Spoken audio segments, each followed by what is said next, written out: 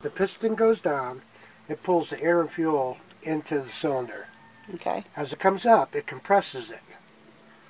Then the engine decides when the spark is going to ignite, okay? Okay. It pushes that piston back down. and then it comes back up and it pushes the exhaust gas out. so that's four strokes of that piston. One, Two. two, three, four. Okay. Comes back down again. It pulls air and fuel into the cylinder. Comes back up, it compresses it. Spark plug ignites. It pushes the piston back down. That's your power stroke. It comes back up at exhaust. It's intake, compression, Intake and exhaust. intake, compression, power stroke, Oh. and then exhaust.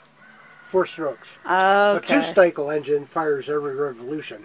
Okay. You know, like the weed eater. Why didn't you want that filmed?